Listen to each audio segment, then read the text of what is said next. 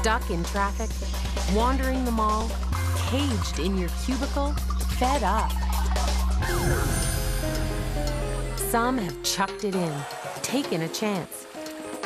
Gone to Argentina, made wine, and started a family. Got my family here with me. For me, it's paradise. Others have fled to Spain and found love. You can turn dreams into realities. You just have to be stubborn. They took a risk, got out of their rut, and now they're living exotic lives.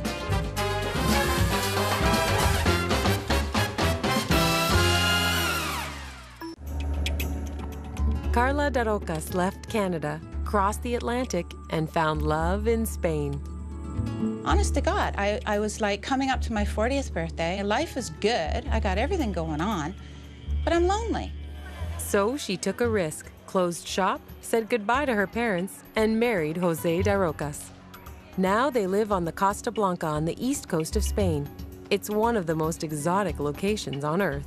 Destiny falls at me, and I either jump on or, or I don't jump on. Karla and Jose have built a successful business here in Spain. Selling real estate depends on the economy, and these days the market is tough. But things have been tough in the past. At times, she had trouble finding her place in Spanish life, but she kept at it, always giving in the hope of receiving. When she learned that the Spanish diet was low on omega 3, she imported flaxseed from Saskatchewan and sold it on the internet. When she realized that small businesses weren't online, she gave lessons on how to set up websites. When she saw that businesswomen needed an association for promoting themselves, she started one that also funds shelters for abused women. I have a bunch of networks, uh, the Spain Health Network, and uh, one of the members of the Spain Health Network is Trudy Van Dorp, and she's hosting a World Health Day up in Cumbre del Sol, where I live. And she's bringing in all kinds of Is that why she's bringing the Tibetan monks? I do appreciate everything that comes to me. I, I am co- openly thanking people all the time. I'm openly uh, thanking the universe all the time. And I try to give back tenfold. Spain is the perfect place for free spirited Karla. And mid March is a perfect time for her because Valencia is kick starting its week long Fallas Festival, the wildest festival in all of Europe. Karla and Jose are just two of the thousands of people who've come to the front of the 15th century Basilica of the Virgin to watch hundreds of bouquets being placed on a huge wooden frame. The flowers are an offering to the patron saint of Valencia, Our Lady of the Forsaken. In the Middle Ages, the Fallas Festival was a celebration of the spring equinox, and now it's one big gravity defying chance to party and poke fun at politicians and celebrities by building huge paper mache statues that in just a few days will be ceremonially burnt to the ground. Control isn't in the Spanish vocabulary at all. It's, uh, it's mayhem, it's chaos, it's surreal. You have to learn to be accepted as a very surreal place because if you don't, you'll go crazy. And I think the Spaniards want to drive the foreigners crazy sometimes. In Valencia, Spain, it's 2 p.m. Time for the Mascleta, the main event of the day. The Mascleta dates back to the 17th century when the Arabs ruled this part of Spain, and they'd shoot powerful fireworks into the sky to intimidate their opponents. It's just a whirlwind. Every time you turn around, the colors everywhere. Color, color, color. It's fabulous. And of course, it's just nonstop. The Mascleta is a pyrotechnic drama in which the protagonist is earth shattering sound. It's not like North American fireworks with their spectacular displays. Here, it's all about the explosions.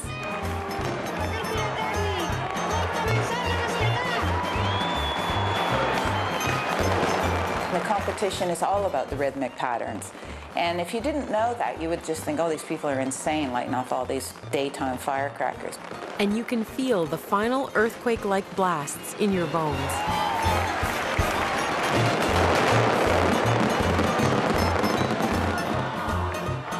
Forty thousand people stuck in this little square in the middle of the city, and these bombs are going off, and you know I'm jumping out of my skin. But then you realize that nobody's pushing, nobody's shoving, nobody's like swearing at you. Everybody's calm, and you think, God, that's amazing.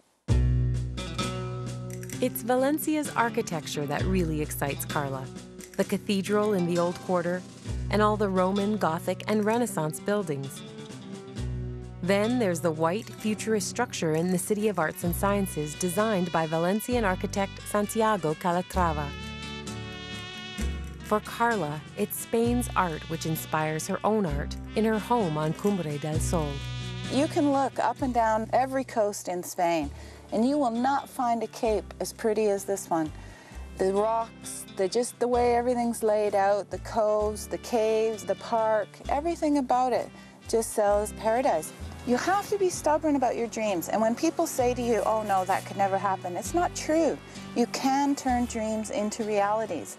You just have to be stubborn. And you have to keep that vision very clear in your mind.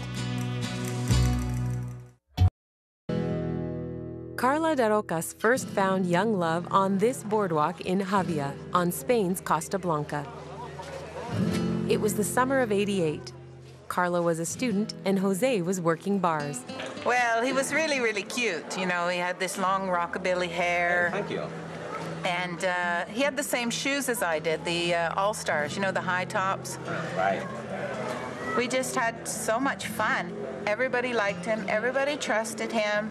He was the good guy. Everybody said that. Everybody on this entire beachfront. Yeah, I am a gentleman. Still, I am a gentleman. Our love was always really crazy. It was always about laughing. It was always about sh- sharing crazy things and not being afraid. After that summer in Spain, she went back to Canada, never imagining she'd ever see Jose again. Karla is an only child, the daughter of Harry and Ruby Ingleton, and she's come back to Waterloo to visit them. The most I remember of Karla, as you say, she always was a leader. Okay, here's the best one. I'll show you the best one first. Look at that. Oh, look at the high heels. That's when Oh, I isn't loved, that great? played dress up. Remember the flipped hair? Farrah Fawcett oh, days, remember? there you go. There's the Farrah Fawcett days. Yeah. In 1984, she entered the University of Waterloo. Artist Virgil Burnett was her professor. Well, we have similar taste in movies. I love Buñuel, and so does she. She likes Salvatore Dali much more than I do. And so, she, you know, for two or three years, we talked about very little else. She always had a streak of, well, I won't say craziness, but uh, Well, like, a, you know, I really believe that you can turn dreams into reality. Now, I mean, that was one of Buñuel's basic premise, and, and you know, you can dream about something and set about a plan to, to make it into a reality. Once Karla graduated from university, she put to work her knack for turning interests into business opportunities. She began writing reviews of blues artists like Paul James. Then she set up websites, started a zine, got into e business, and went to California. First time I seen you on my street, I told my partner you sure look sweet. I fell in love before I knew your name. Gotta, gotta, gotta give me some of it. But while she was in California, things went bad. At times, she'd wake up in the middle of the night, terrified. And I'm thinking, God, I'm going to be 40 soon. I've done it. I've done everything, but I'm not married yet. And why is that? And why? Why? Why? Literally, next day, I get an email. I just looking for uh, for Karla on internet, and it was so tough to find him because I remember the name, I remember the place, Bowmanville, but she was not in Canada. She was in California. So uh, I just search and searching and searching and searching, and I find finally uh, the name for Karla on the Scene magazine. That was a magazine in California, and I think, oh, I think that's it, the, dir- the director from Scene magazine.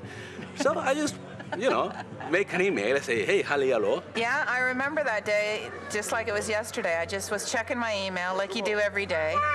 And there it was in the uh, header, Coco Drillo, which was our, that was Jose's pet name.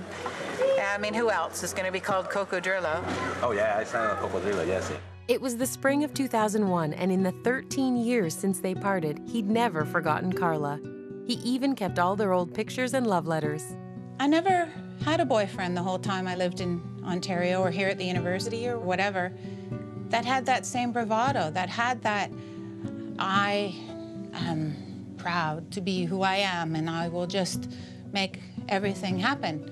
And I love you and that's it. End of story. And so he flew to California and their love rekindled. They had a few blissful days in Los Angeles.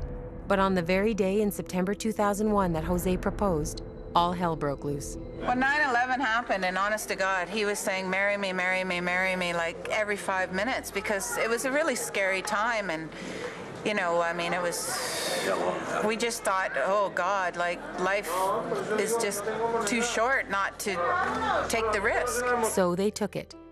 Karla raced back to Canada and packed. Jose flew home. And a week later, Karla married a man she hardly knew. Karla Darocas' search for love took her from Canada to Spain's Costa Blanca. Today, she and Jose are going to Jose's hometown, Xàtiva, 50 kilometers inland from Cumbre del Sol.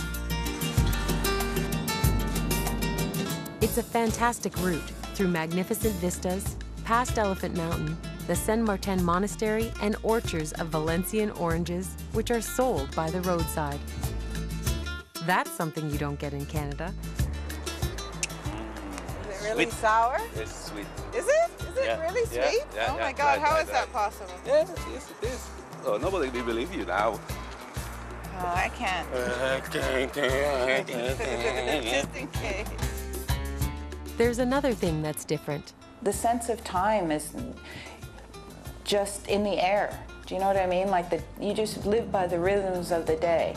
And I think that's really interesting. And the fact that they have the siesta in the afternoon. And I like that. I like the way that the day is kind of broken up. It's not all jammed into eight hours. Xàtiva is a centuries old town full of history, with a castle at the top of Sierra del Castillo and the ancient remains of Iberian, Roman, Visigoth, and Arabic settlements buried below. There are two pops that raised here in Xàtiva, Alexander and Callisto. So there was a very powerful pops back in these days, and the people from uh, Xàtiva, the Catholic people from Xàtiva, are very proud because there was something um, historical. The Xàtiva, this little town, there was back in these days the center for the Catholic Romanic Church. When Jose and Karla came to Spain after their wedding, Xàtiva is where they settled.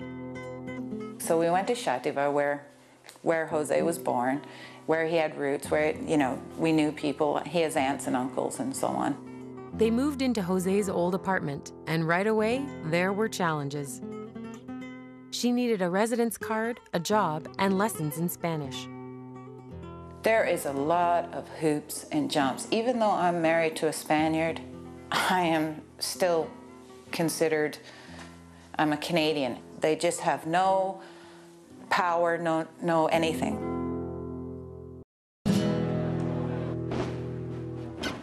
In Spain, it's still Fallas Week, and sometimes it seems that the whole country is celebrating. This is Xàtiva's Mascleta. Not as big as Valencia's, but still impressive. It thrills Jose, which Karla finds infectious and endearing. They're very tactile culture. Rock and roll, baby! And it's wonderful. It's a really warm and reassuring thing to know that you can walk down the street hand in hand, you can kiss whenever you want. I mean, open displays of affection are no big deal. Well, I love Jose because he has no other desires except in my direction. And that's that's just a very you know, it makes it makes you feel strong and it makes you be able to and he's proud of me. I will have had a really crap day and I'll be in the kitchen and I'll have my rubber gloves on to here. Okay? And Jose will sneak up behind me and, you know, start kissing my arm right up from the rubber glove to the neck, you know, and down the other side and stuff. And I've got rubber gloves on and I'm looking a mess. But he doesn't care. You know what I mean? he's just he's just a little love muffin. But if there's one thing that rivals her love of Jose, it's her love of art. How's it look? Good. I was trying to paint my dreams I had a whole series of dreams of these fish that came out of the water and they were half cats. They were half cats, they were half fish. And they would tenderly hold baby fish like babies. So I painted those. And my mother has all those paintings. They're all at my mother's house. Well, this is an orchid that I did when I first arrived. A lot of people tell me that it, it frightens them. It looks like a big tongue hanging out. So, you know, um, cats, just for fun. Maybe just under an hour, 45 minutes or so. Yeah. This one and the one you're going to see over there, I did for International Women's Day. And it's just kind of symbolic kind of painting. And this painting over here, the kissing giraffes, I do that painting as a wedding gift. And this is a small version of it, but for big wedding gifts, I'll do big kissing giraffes. And they, people love them. Spain is celebrating St. Joseph's Day, the final day of the Fallas Festival. Friends are coming over, and Jose is cooking Valencia's most famous dish, paella. Green beans, white beans, tomato, chicken, rabbit. You can put the shrimps as well, but we have no shrimps today, so I make a typical Valencian uh, paella. Love can lead you anywhere. Karla's love for Jose took her to Spain, and today, surrounded by friends and family traditions, she feels at one with the world. I don't feel that I'm Canadian or Spanish or anything. I just feel that I'm just a person of the world, that I am just Karla in the universe. And wherever I hang my hat is home. You know what I mean? Like, just, I'm, I, I love to travel, but I love having my own home too. I love having a husband and a dog and a Florida mop. It's, it's great. This all is fictional. In Cumbre del Sol, most of her friends are expats. It makes her feel at home, surrounded by like-minded people. Next for Karla, it's on to Denia, and the climax of the Fallas festivities. Denia is seven kilometers north of Cumbre del Sol. Its Fallas celebrations are second only to Valencia's in both sound and spectacle. Each of these fallas, placed at key intersections throughout the city, is like a cartoon effigy of someone whose pomposity should be punctured. It's the flip, dark side of a beauty pageant. At midnight, one by one, each will be set afire. The result is an orgy of flame called the crema.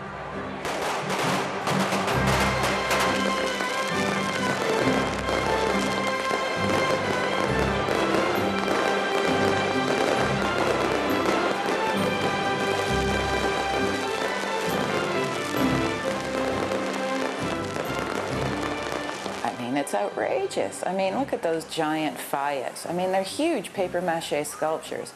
And look at the effort and the money that goes into them just to be burnt to the ground. How extreme that is to just work at something for months and months and months to have it on display and then just burn the whole thing to the ground as though it never existed. I mean, that's incredible.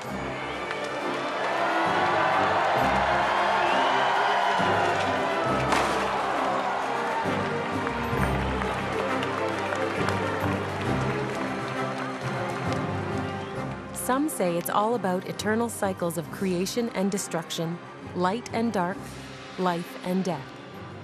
But here, at this moment, it's all about crowd cheering entertainment. St. Joseph, the patron saint of carpenters, must wonder what he did to deserve all this.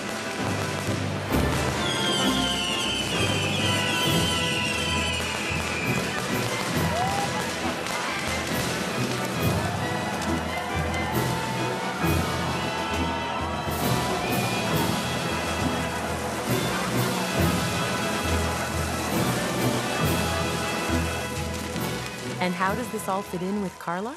I just believe in that circle of life. I mean, you know, you give, you receive, you give, you receive. What goes around comes around. You know, all those things that you hear.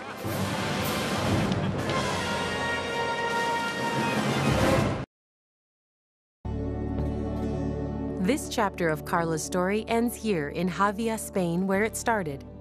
It's a crazy love story of Karla and Jose finding each other after all those years, and of Karla forging a new life in an exotic land, in a country she has come to love. And although she misses Canada, her friends, and family, she doesn't regret the chances she's taken. I think it would be like the worst thing to have regrets. Oh, I wish I'd gone to university. I wish I had moved to Spain. I wish I had married my true love. I wish, I wish, I wish. Can you imagine going to your grave with all that heaviness? You know, I couldn't do it. So I've really set about making sure that that never happens.